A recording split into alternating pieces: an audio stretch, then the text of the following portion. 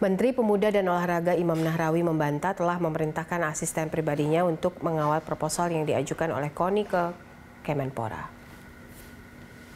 Sidang perkara suap dana hibah KONI yang digelar di Pengadilan Tipikor Jakarta Pusat pada hari Kamis menghadirkan saksi Menpora Imam Nahrawi, staf pribadi Menpora Miftahul Ulum, dan staf protokoler Arif Sutanto.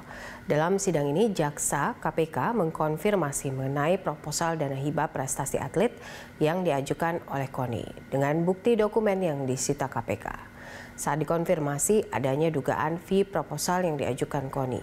Narawi berdalih jika proposal berjalan sesuai dengan prosedur dengan lebih dulu ditelaah dan masuk pada deputi.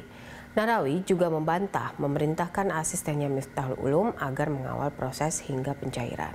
Ada tiga pejabat Kemenpora yang menjadi terdakwa dalam kasus ini, yaitu Deputi 4 Mulyana yang didakwa menerima uang 400 juta, serta mobil Fortuner dan juga dua staf Kemenpora Adi Purnomo, serta Eko Trianto yang didakwa menerima suap 215 juta rupiah.